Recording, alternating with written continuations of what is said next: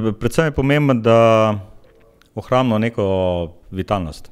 Kadri so pomembni, se pravi, tam se vsa zadeva začne pa konča. Ne? Tako da, če imaš dobre kadre, pa če jih spodbujaš eh, ustvarjalnosti, pa novostim, pa zadeva lava.